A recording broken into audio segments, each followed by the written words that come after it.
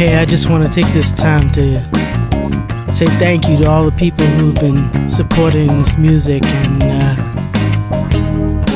you know I appreciate it. If you came to see a show, if you produced a show, if you played in the band, if you just uh, turned your friends on to something, you know, I appreciate it.